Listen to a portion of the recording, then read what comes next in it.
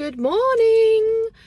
So I wanted to do a mini vlog on a new coffee uh, chain that I found. Now, if anybody knows me, they knows that I, I can't function very well without coffee in the morning. Um, tea in the afternoon, coffee in the morning, but that's open to debate. Um, Foxtails Coffee. They are starting to pop up. They're in a kind of a growth phase at the moment. They're starting to pop up all over the kind of Sodo area, which is kind of south downtown. There's one in Winter Park. There's one in Windermere. They haven't quite ventured out to the I-Drive or Kissimmee area yet. Maybe those markets aren't quite ready for it. Um, but I absolutely love this coffee. And, and why?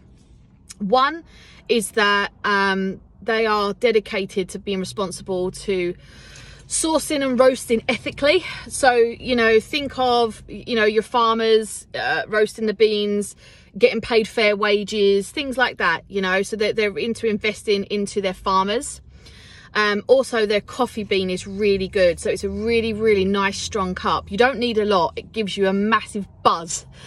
Um, their beans come from all over the world mexico ethiopia but it's all about putting money into the workers and into the farms so that they can source responsibly um, and not obviously squeeze the workers. So making sure that everybody's getting paid at a fair wage for good coffee. So that's one of the reasons why I like it. Also, the other reasons I like it is that when you walk in, it feels really welcoming. It's really funky. It's, you know, think of it, it's quite an industrial feel, lots of wood, exposed beams, um, but it's really welcoming. So when you sit in there, you know, you can have a chat. There's lots of people having business meetings. There's a couple of people there with children. It's like really friendly and inviting.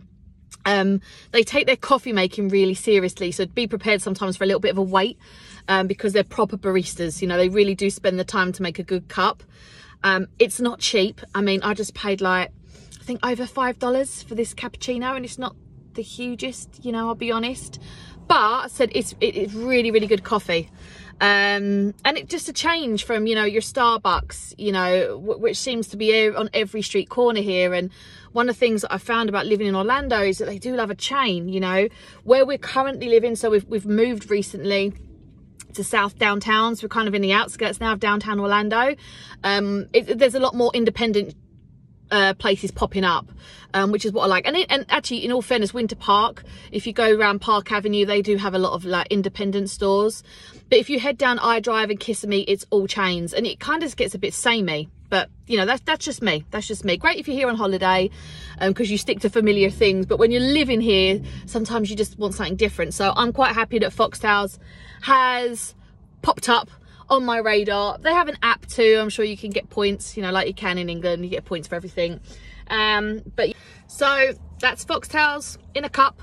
Um, please continue to like, share, subscribe to my videos. It's great to see my channel growing.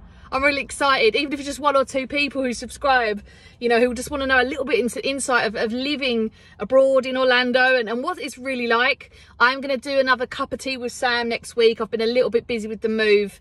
Um, I'm going to go through kind of our journey with, with buying a place here because it is so totally different to buying a place in England.